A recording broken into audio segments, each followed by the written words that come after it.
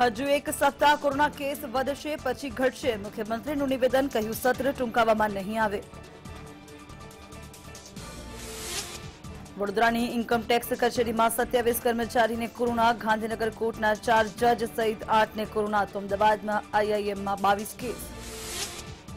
હોળી દહન વખતે મર્યાદિત સંખ્યામાં લોકો ભેગા થશે. રાજકોટ, અમદાવાદ પોલીસનું જાહેરનામું ધૂળેટીની જાહેર ઉજવણી પર પ્રતિબંધ.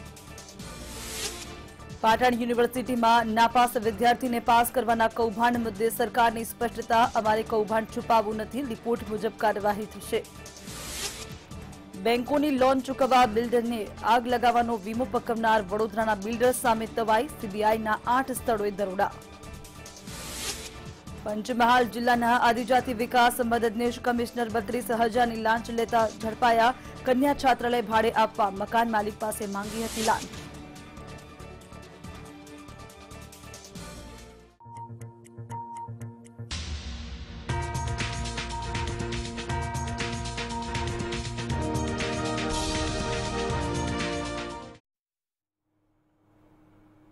નમસ્કાર, આપની સાથે હું છું બિનલ. હવે જોઈએ સમાચાર વિગતવાર. તો સૌપ્રથમ વાત કરીશું વડોદરાની. વડોદરામાં જે રીતે બિલ્ડરો દ્વારા ખોટી રીતે વીમો પકવીને બેંકોને ચૂનો લગાડવામાં આવ્યું હતું, તો વડોદરાની અંદર બિલ્ડરોએ મળીને બેંકને ચૂનો લગ્યો હતો, ચૂનો ચોપડ્યો હતો. તે મુદ્દે સમાચાર. બેંકોએ ફરિયાદ કરતા સીબીઆઈ એક્શન મોડમાં આવી ચૂકી છે. અને ખાસ વડોદરામાં આઠ સ્થળોએ સીબીઆઈએ દરોડા પાડ્યા હતા અને ખાસ સર્ચ શરૂ કર્યું હતું. કારેલી બાગની જય રણછોડ નામની બિલ્ડિંગ કૌભાંડનું કેન્દ્ર કે ઇમારત ઊભી કરવા બિલ્ડરોને લોન લીધી હતી અને ચૂકવી નહોતી. ત્યારે બેંકોનું દબાણ વધતા બિલ્ડરોએ બિલ્ડિંગ સળગાવી દીધી હતી. અને બિલ્ડિંગના આગ લાગ- લગાવી બિલ્ડરોએ વીમો પકવ્યો હતો. બેંકની લોન ચૂકવવા માટે આ સમગ્ર કૌભાંડ આચરવામાં આવ્યું. વડોદરામાં સીબીઆઈ દ્વારા જે અલગ અલગ સ્થળોએ દરોડાની કાર્યવાહી કરવામાં આવી રહી છે તેની પાછળનું મુખ્ય કારણ આ બિલ્ડિંગ છે. કારેલીબાગ વિસ્તારના અંબાલાલ પાર્ક ચાર રસ્તા ખાતે આવેલું કોર્નરનું આ જય રણછોડ નામનું બિલ્ડિંગ કે જે અત્યારે પણ એવી જ હાલતમાં છે કે જેમાં થોડા વર્ષો પહેલા આગ લાગી ગઈ હતી. બાદમાં એ સામે આવ્યું હતું કે જાણી જોઈને કાવતરું રચીને આ આગ લગાડવામાં આવી હતી. ધ્રુમિલ જોશી અને તેમના ભાગીદારો દ્વારા બિલ્ડિંગ ઊભું કરવા માટે બેંકો પાસેથી લોન લેવામાં આવી.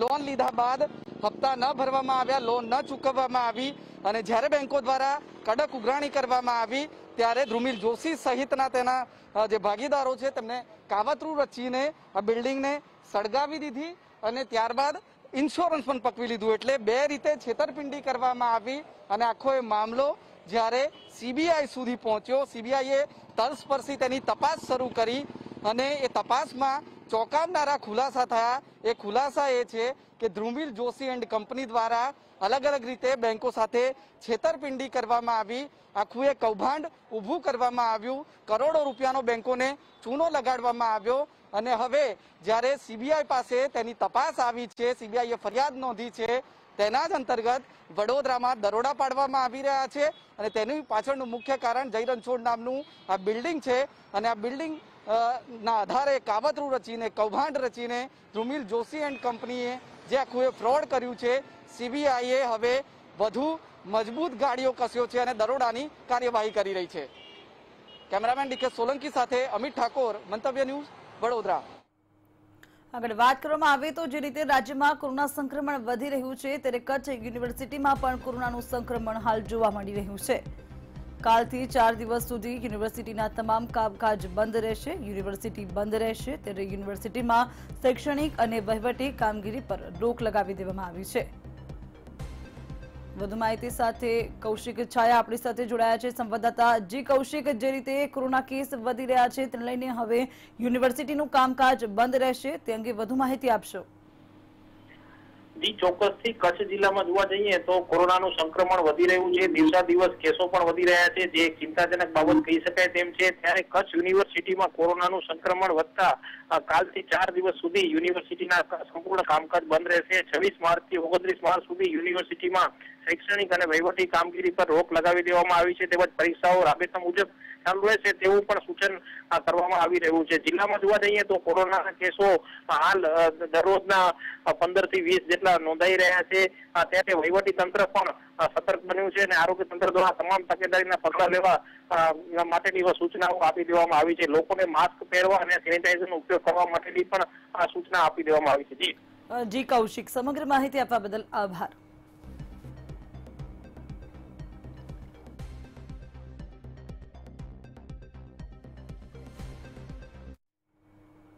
આગળ વાત કરીએ તો પંચમહાલ જિલ્લામાં આદિજાતિ વિભાગના મદદનીશ કમિશનર લાંચ લેતા ઝડપાયા હતા.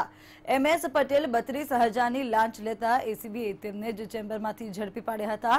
કન્યા છાત્રાલય ભાડે આપનાર મકાન માલિક પાસે તેઓ લાંચ માંગતા ઝડપાયા છે.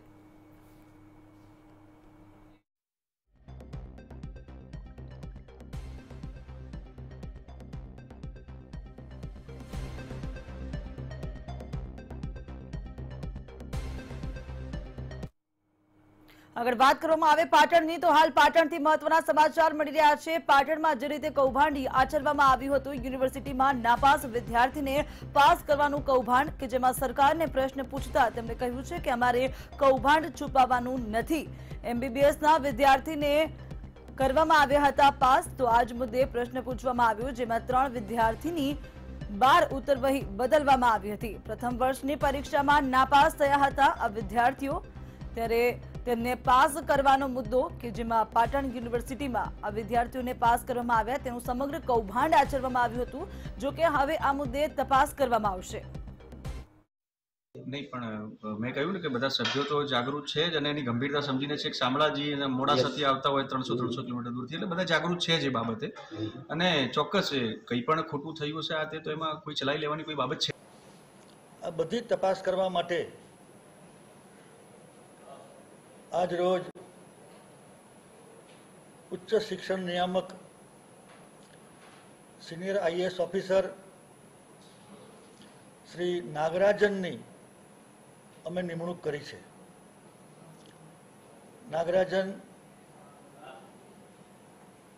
યુનિવર્સિટીમાં સુપ્રત થયેલો રિપોર્ટ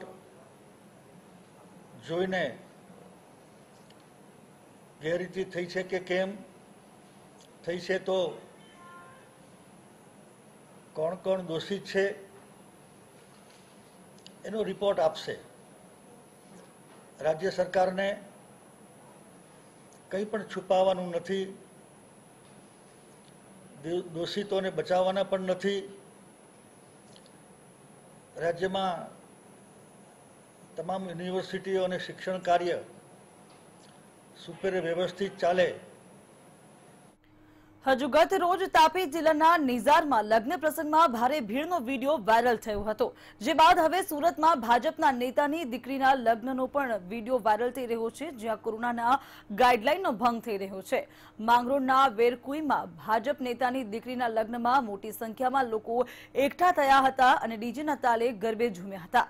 બેદરકારી બદલ બે કોન્સ્ટેબલને સસ્પેન્ડ કરી દેવામાં આવ્યા છે, તો માંગરોળના વેરાકુઈમાં ભાજપ નેતા ઇન્દ્રેશ મલિકના દીકરીના લગ્ન પ્રસંગનો આ વીડિયો છે.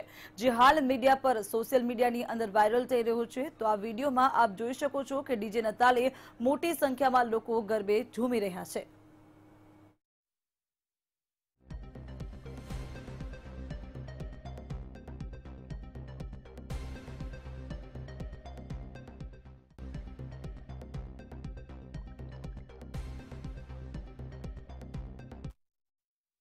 કાલે મારી દીકરીના લગ્ન હતા. એમાં મેં સરકારની ગાઈડલાઈન મુજબ જ લોકોને ઇન્વાઇટ કર્યા હતા. અને અમારા મુસ્લિમ સમાજની અંદર પ્રથમ તો ડીજે કે ગરબાનું આયોજન આવતું જ નથી. પણ હું ત્યાં વેરાગુઈ ગામે મારું મુસ્લિમ સમાજનું ફક્ત એક જ ઘર છે. અને એક જ ઘર વર્ષોથી અમે રહીએ છીએ ત્યાં. અને હું ત્યાં થોડો સહકારી આગેવાન છું, રાજકીય આગેવાન છું. એટલે મારા તરફની લાગણી વ્યક્ત કરવા માટે આદિવાસી સમાજ અને હિન્દુ સમાજે ગરબાનું ડીજેનું આયોજન થોડી વાર માટે કરેલું. મને જેવી ખબર પડી, મેં તરત જ એ કાર્યક્રમ પચીસ ત્રીસ મિનિટમાં જ બંધ કરાવી દીધો. આ ગાઈડલાઇનનું પાલન થયેલું જણાતું ન હોય, જેના વીડિયો પણ વાયરલ થયેલા હોય, જે અંતર્ગત આ ઇદ્રીસભાઈ મલેક અને બીજા ત્રણ ઈસમો વિરુદ્ધ અત્રેના પોસ્ટેમાં ઈપીઓ કલમ અઠ્યાસી બીજી અન્ય ગુનાની એપિડેમિક એક્ટની ગુનાની કલમો તથા જીપીએફ ગુનાની કલમો મુજબ અત્રેના પોસ્ટે ગુનો દાખલ કરેલો છે. મુખ્યપ્રધાન વિજય રૂપાણી વિધાનસભા ગયા હતા, જ્યાં રૂપાણીએ કોરોનાના મુદ્દે જણાવ્યું હતું કે કોરોનાનું સંક્રમણ વધ્યું છે, પરંતુ મૃત્યુદર ઘટ્યો છે.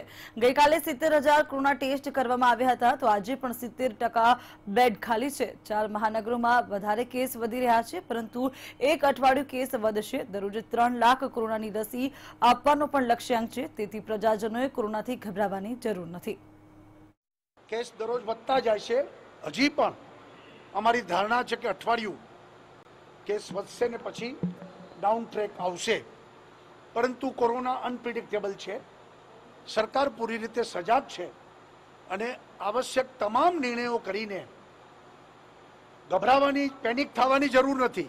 અને આમાં બે જ ઉકેલ છે કે બધા માસ્ક પહેરી રાખે અને વેક્સિન ઝડપથી બધા લે. ત્રણ લાખ વેક્સિન દરરોજ કરવા એવો સરકારનો નિર્ણય છે. સવા બે લાખ સુધી પહોંચી ગયા છીએ. દરરોજ ત્રણ ત્રણ લાખ વેક્સિન થાય એ પ્રકારે આપણે આગળ વધી રહ્યા છીએ. અત્યારે સત્ર ટૂંકાવવાની કોઈ વાત જ નથી. એટલા માટે કે હવે ફક્ત ચાર દિવસ બાકી. ફાઇનાન્શિયલ બજેટની એપ્રુવલ ફાઇનલ એપ્રુવલ અને જે બિલ આઠ જેટલા જેટલા બિલ બાકી છે એ હવે પાસ થશે. બુલેટિનમાં હાલ સમય થયા છે બ્રેકનું. વધુ મહત્વના સમાચાર પર નજર કરીશું બ્રેક બાદ. Welcome back. આગળ વાત કરીએ રાજકોટની. તો રાજકોટમાં હોળી અને ધૂળેટીના તહેવારને લઈને રાજકોટ પોલીસે જાહેરનામું બહાર પાડ્યું છે.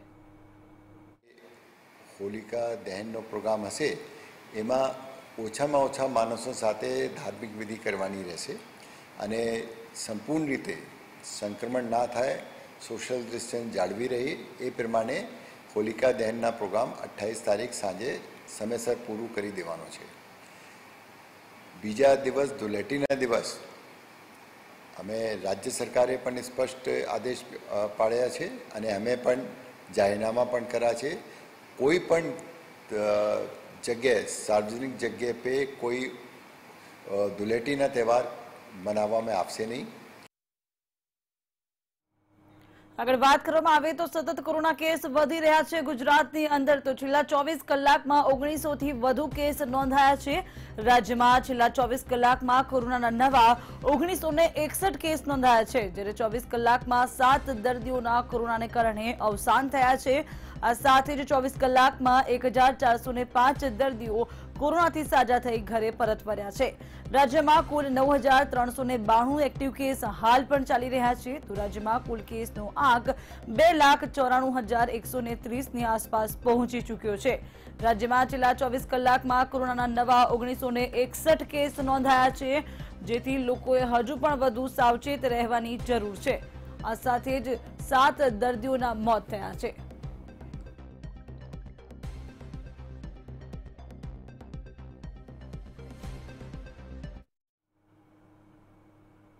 આગળ વાત કરીએ તો મહીસાગર સિવિલ હોસ્પિટલમાં કોરોના માટેની કીટ ખૂટતા ટેસ્ટ કરવામાં લોકોને મુશ્કેલીનો સામનો કરવો પડ્યો હતો. કોરોનાની કીટ ખૂટતા કોરોના ટેસ્ટ કરાવવા માટે લાંબી કતાર ઊભી થઈ હતી. તો કોરોના ટેસ્ટમાં પોઝિટિવ આવેલા દર્દીઓ પણ કોમ્પાઉન્ડમાં જ હાજર રહ્યા હતા. હા અમે અગિયાર વાગ્યાના આવેલા હતા. તો એમની કીટ ખલાસ થઈ ગઈ તો હવે એક વાગે નંબર લાગી રહ્યો. હવે કોઈ પોઝિટિવ હોય તો એની દશા કેવી થાય? વધારે સિરિયસ હોય તો એની કેવી દશા થાય? સુરત પાંડેસરામાં પાંચ વર્ષની બાળકીનું મોત થયું છે. બાળકીનું ઝાડ ઉલટી બાદ અચાનક મોત થયું છે. ઝાડા ઉલટી થવાને કારણે તેનું મોત થયું છે. તો કરફ્યુ હોવાથી રિક્ષા ન મળતા બાળકીનું મોત થયું હોવાનું હાલ બાળકીની માતાનું કહેવું છે. હોસ્પિટલ લઈ જતા જ બાળકીનું રસ્તામાં મોત નીપજ્યું હતું.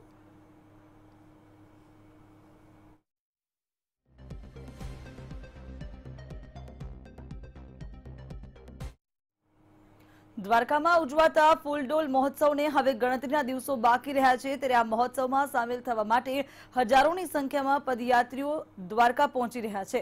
દ્વારકા તરફ જતા રસ્તા પર કોરોના કાળ ચાલી રહ્યો છે. છતાં પણ ભાવિકો ભોજન અને ભજનો સહિતની સેવા માટે ઠેર ઠેર કેમ્પમાં ઊભા રહી રહ્યા છે.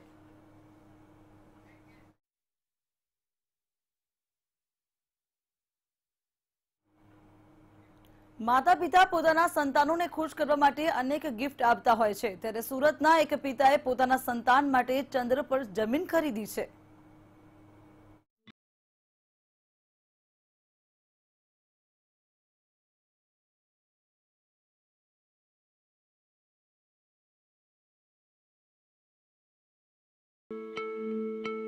પુત્ર માટે ચાંદ પર જમીન. પિતાએ પુત્ર માટે ખરીદી જમીન. ચાંદ પર ખરીદી એક એકર જમીન.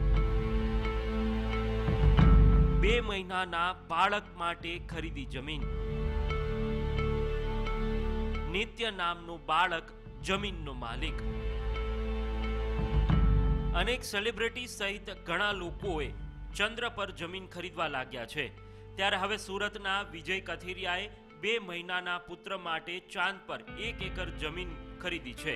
વિજય કથિરિયાએ તેર માર્ચે રજીસ્ટ્રેશન કરાવ્યું હતું, જ્યારે ગત રોજ જમીનની ખરીદીને મંજૂરી મળી ગઈ છે. જ્યારે સૌથી નાની ઉંમરે જમીન ખરીદી કરવાનો પણ રેકોર્ડ બન્યો છે. નિત્ય નામનું બાળક જમીનનો માલિક બન્યો છે.